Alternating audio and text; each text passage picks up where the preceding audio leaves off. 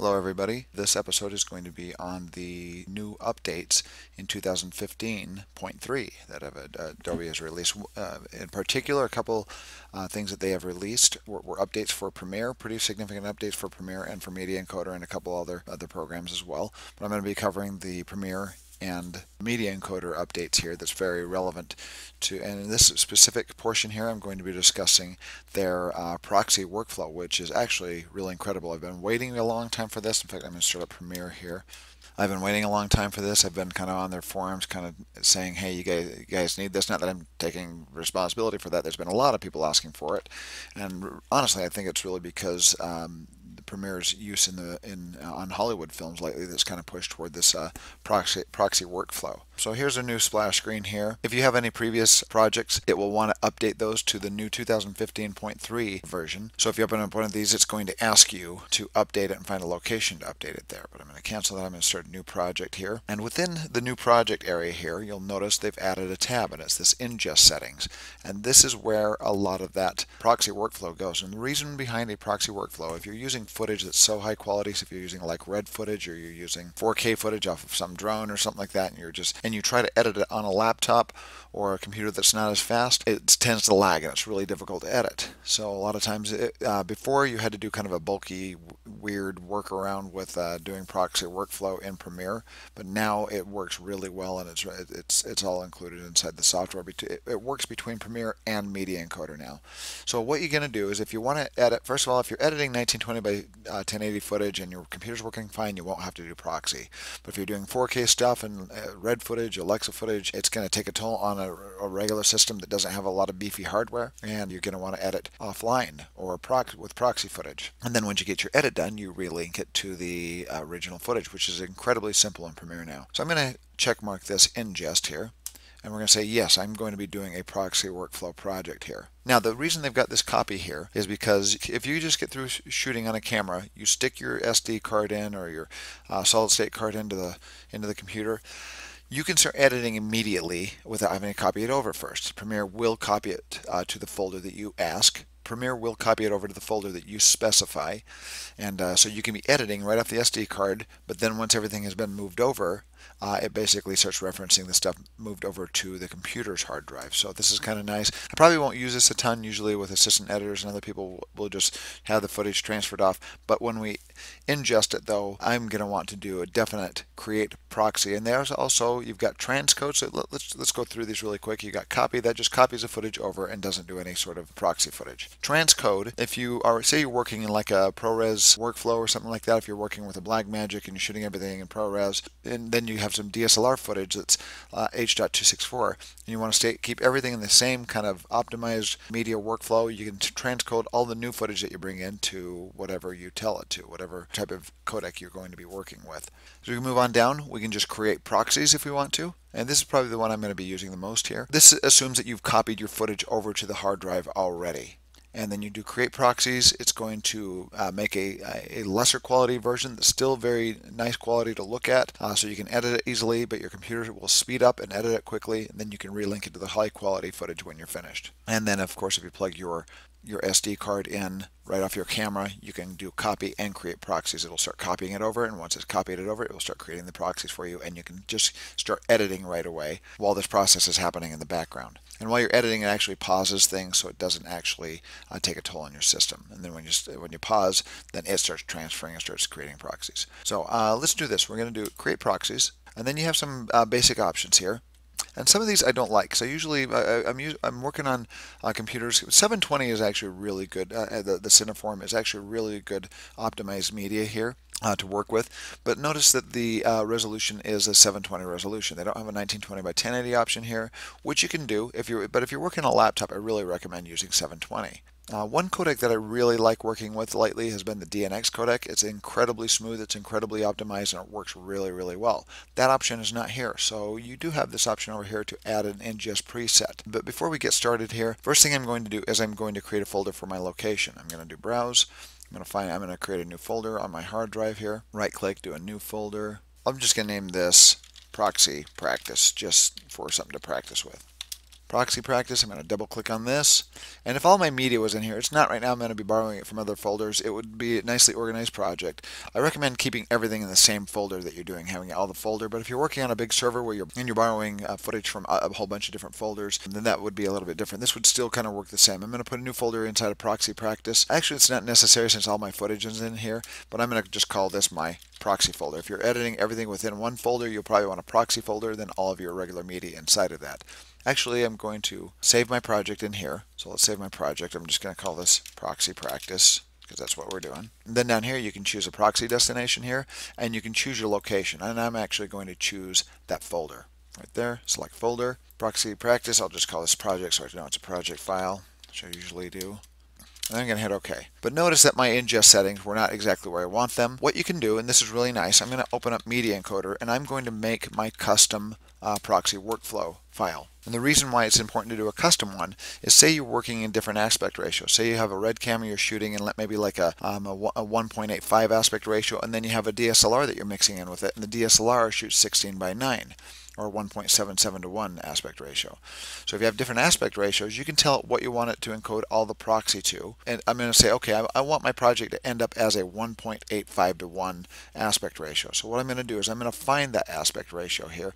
I'm going to go down, I'm going to go under, I'm going to create one of my own presets here. So I'm going to go up to my little create preset, new preset button here and say create ingest preset. Now we are not transferring the file so we can ignore this but we're going to transcode the files to a destination here.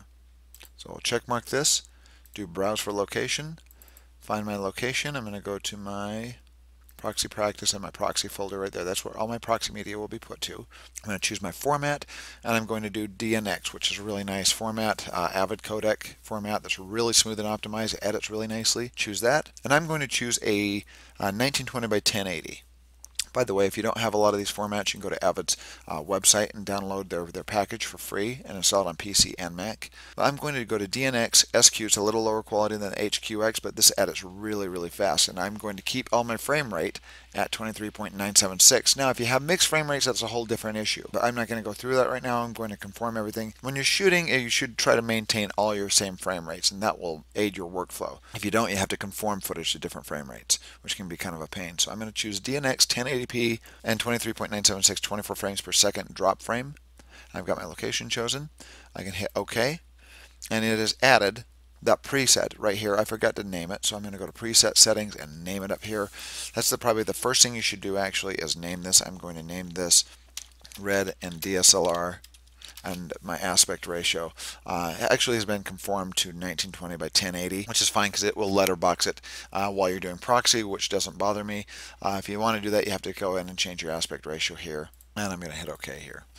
But uh, in the end it will relink to the high quality footage and everything will be honky-dory so there's my preset right there I'm going to right click on it and I'm going to export presets. So I'm going to save this preset as something that you could send this preset file off to anybody else editing and everybody can have the same project if you're working, if multiple people are working on it and uh, they can import it really easily and uh, do the same proxy workflow that you're working with. So I'm going to go to proxy practice. I'm going to save it in here. My DSLR, it saves it as this EPR file. We're going to save. and go back to Premiere. Now I can go up to File, go down to my project settings, and you'll notice ingest settings has been added here. Here's those th same three tabs that have been added to your projects. Settings, go to ingest settings, and I'm going to add an ingest preset. I'm going to find that location, it's right there, choose that, and open, and it has added that uh, as my preset. It's got all the information right there. I'm going to hit OK, and it's done. So now we can start importing footage. I'm going to go to my media browser, hit my tilde over this to expand it. We're going to go go into my hard drive here. And by the way, to navigate quickly with these, you can use your arrows down to go down and find your folder, and arrow right to open up a folder, and arrow left will close it. So I'm going to arrow right, go down to day one, grab some red footage. And actually, here's a good example because we've got red footage and Sony footage. So I'm going to grab all this red footage here. So I'm going to grab day two because that stuff's in a car so we can see the footage a little bit better. So here's all my red footage. I'm going to hit Control A, select everything, right click and import. It'll import all these files. I go back to my project window. And one thing is uh, you might want to be able to keep track of proxy encoding. A couple things you can do to keep track of your proxy encoding here. Uh, first of all, there's a new tab they've added here that's not shown right here. You can uh, basically go up to your little uh, project window settings here and go to metadata display you can scroll down, or actually it's under Premiere Pro Project Metadata. I'm going to scroll down, downtown and uh, check mark proxy under this Premiere Pro Project metadata. Hit OK. It has added it up here. You don't see it yet because it is all the way down here. I'm going to grab this and drag it a little closer so I can kind of keep track of things. Scroll this back over. I'm going to put it all the way over here just so I can see it and keep a close eye on it. Right there. So I've got this all the way over to the side. And right now it says these are all offline. That doesn't mean your media is offline. It means your proxy footage is offline. It hasn't encoded them yet. Right now it's working on it. I'm going to hit my tilde key again, bring that down, and we're going to go up to, to test the progress, we're going to go to Window, and we're going to go to Progress. Right down here, they've added this new window that adds it on right here and shows your files encoding here.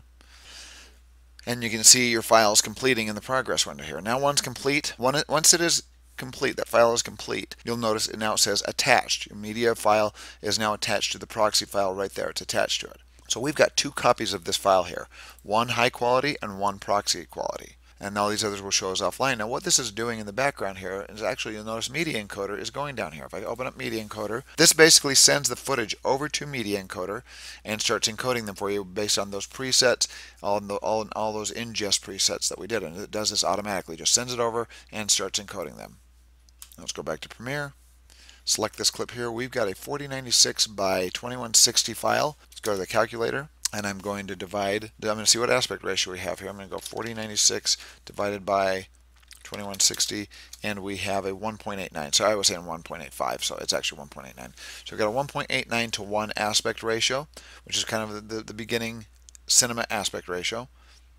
And say we want a project in 1.89 but we got to mix in some DSLR footage. So I'm going to grab all this footage here and I'm going to put it in a folder call that red fo folder I've got my red footage in there. You can organize this however you want, but I'm going to import some DSLR footage. So I'm going to import, actually I'm going to import some 1920 by 1080 uh, DSLR, or it's not DSLR footage, it's Sony footage, older uh, Sony F3 footage that they use as a B camera. But this is 1920 by 1080, it's less, it's less quality. I'm going to encode this anyway. I'm going to leave the encoder on. It's not high enough quality necessarily to worry about it, but I'm going to do it anyway just to facilitate things and make it easier. So I'm going to grab all this stuff, right click, import. It will transcode it. The, the Sony footage really doesn't need to be, but I'm going to do it anyway just so it's all so it's all in the same codec here. I'm going to grab my footage, drag it to my folder, make a new folder, and we'll call this Sony. Notice that these are saying offline, and the red footage is still encoding. And actually, you could start editing right here. And let me show you. You could grab a file. Now I want my aspect ratio ratio based off of my red footage. Notice this is 1920 by 1080. If you divide that on the calculator, it ends up being 1.77 to 1, or 16 by 9 if you round it up to whole numbers. Uh, but this is 1.89 to 1. It's a wider aspect ratio, and I like that cinema aspect ratio. We're going to conform all these later on to that aspect ratio, but I'm going to grab my red footage, create a timeline based off of the red footage settings. Let's go under here. I'm going to grab my timeline, drag it out of my folders, name my folder. I'll just call it edit right now really simple stuff right now. Open that up and here is my red footage, but right now this red footage is not using the proxy footage. This is actual red footage right now. So this, when I play it back, will start getting laggy. And actually, while that's encoding, I'm going to show you kind of the next step here. Next step that you need to do, so you can switch between proxies and and uh, the high quality footage, you're going to go to this little plus button on your uh, program viewer. Let me put this into regular editing mode here. Okay, we're back to our regular editing editing view here. I'm going to go down to this little plus button. We're going to add an icon. They've added something under the button, button editor, and it is this little proxy button right here to toggle between your timeline between proxies and the high quality footage. This is really nice and quick. It's just a really super quick step. I'm going to grab this, drag it down here, hit OK, and there we go. And right now, since it's not blue, this is on the original footage. If you do have proxy footage in here, which uh, I'm not sure if this one's gotten there yet, you just hit this button, and it will change this and it did. It changed the proxy footage there. And now we can edit with the proxy footage when we go back to the original. See and I kind of did a bad, bad aspect ratio here. Did them all 1920 by 1080 uh, but you can conform them to the right aspect ratio if you wish. And what you would want to do if you wanted like half the resolution you would divide your 4096 by 2 you would divide 4096 by 2 divided by 2 you and you would end up with 2048 and then we divide 2160 by 2. So it'd be 2048 by 1080, and you'd get the right aspect ratio. And I didn't do that on my preset, so right now it's showing up as letterboxes, conformed it to 1920 by 1080, and of these letterboxes to squeeze that in.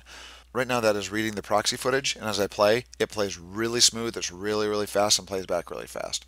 Um, so now I can switch between the high quality footage and the proxy footage with the wrong aspect ratio. But uh, that's the, that's the first process here. Uh, I'm going to let this finish encoding, and then we'll come back and finish. This is finishing the last clip right now. Let's go over to our little editor here and look at our red footage and everything in our red footage and everything in our red footage is attached. Here's our Sony footage and everything is here in our Sony footage is attached. So everything is attached to proxies now. So I can go to Media Encoder. I can actually close that now and save my project. And we can start editing. So this hasn't been synced or anything. I don't have synced audio. But anyway, I just uh, want to show you kind of the attachment and reattachment uh, function. Here, let's go open up some footage here, kind of skim in, and grab a grab a clip, in point, play through it. This is our this is our red footage here. So put an in point, out point, period. We drop that into our timeline, and we have our proxy turned on. So right now I can tell because I've got these letterboxes here. Interesting thing will happen because my Sony footage is actually 1920 by 1080. So let's uh, open up a Sony clip here and skim into it and just grab a clip here. Not going to really go for continuity or matching here, just to kind of show how the workflow works. Out point, actually we'll put it before, go for a teeny bit of continuity right there. So we've got our Sony footage, which has an audio clip attached to it. And keep in mind, this timeline is still in a, a 4K uh, timeline space here. One thing I could have done before I imported the footage, which I did not do, is go into Preferences, General, and you can tell it to default scale to frame size when you import footage. And whenever you import footage from now on, it's going to default scale to, uh, to the frame size of what you're editing in. I'm going to right click on this and tell it to scale to the frame size right now so I can add it. And notice it's got the letterboxes on the side here and here. Because uh, that is 1920 trying to fit into a um, into a 1.89 aspect ratio, a little bit wider aspect ratio. As we play through it, um, now we have our footage in here where we can go ahead and do our edit. Editing will be really super fast. It will play through really super fast. Uh, when you're done, you just go over to hit this toggle proxies, click, and it goes back to the original footage. Notice that our 1920 by 1080 footage is still letterboxed or on the sides here, and now our red footage matches this timeline just perfectly. This is 1.89 to 1 we can uh, when this will have to be fixed in post. If you're mixing cameras and different uh, aspect ratios and formats you're going to have to in color in, in color correction in post if you're sending it to DaVinci Resolve you can do quick easy zooms on these things to frame uh, clip by clip which you have to do or you can go to effect controls here and you can scale this up. Let's go 105 maybe? 107 will probably do it. 107 will take that right to the edge and you can reframe this if you need to. You have a little bit of room to reframe if you need to and now my 1920 by 1080 fits within that window there if you are mixing aspect ratios. There we go, and, all, and now this has to be colored to match. Let's do a quick color to match. I'm going to go to my scopes here. I'm going to tell this to show RGB parade. Let's get rid of our regular waveform monitor there and look at the colors between these two. And this one has a higher push in the red, so we're going to go up to our basic correction. I'm going to grab the temperature and pull that down so it changes the color temperature a little bit. Go to the curves, grab my red, bring down the highlights in the red, bring that down to match kind of the other uh, blue there, and let's see if those kind of match a little closer. They're closer. This is a little bit brighter, but we got the color temperature a little bit closer. This has a higher push in the blue. Grab our blue, drag that down a little bit. These uh, color correctors are incredible inside of Premiere. Love them. Um, if you're not using, if you're using a smaller project, you don't have to use DaVinci Resolve, then then this is a really good way to go. All right, there, basic color matching there. Let's add a little bit of brightness to this one. A little bit of exposure to this one to match the exposure. Bring the exposure down this one a little, little, little bit. We cut to shot to shot. Starting to match. Needs a little bit of work, but add a quick contrast to each one. Contrast. And awesome. Anyway, uh, yeah, we go all day on the color correction stuff, but there you go. That is the new uh, kind of proxy workflow. Very simple. I will be posting a, uh, um, a kind of a full-on workflow with proxy uh, in the next few weeks here. I'm going to get prepared. I'm going to actually do a project on this new feature, and then after I'm done with that, I will come back and show you complete workflow from beginning to end and show you all the kind of tips and, and tricks with it, and uh, so you have a nice steady workflow from beginning to end. But uh, that's that feature. Enjoy. And the next, I do have another episode that shows the HSL secondary that has also been added in their new updates. So watch that episode as well if you want. And this is a very powerful tool here as well in their color correction and their Lumetri panel. So um, watch the next episode. Thanks.